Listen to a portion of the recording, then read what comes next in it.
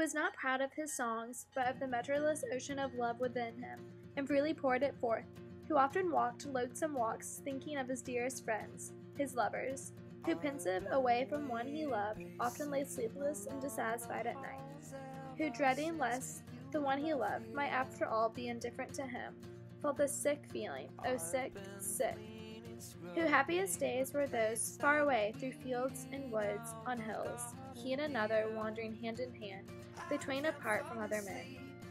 Whoever, as he sauntered the streets, curved with his arm the manly shoulder of his friend, while the curving arm of his friend rested upon her also.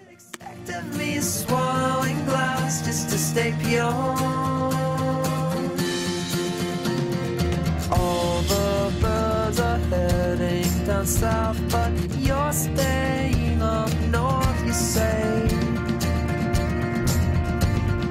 I've got jackets, blankets, and sheets. it's going